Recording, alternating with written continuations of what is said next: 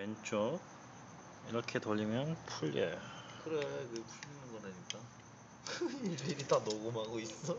나중에 바꿀 때 참고하려고요. 됐어. 그 정도만 하면 알지.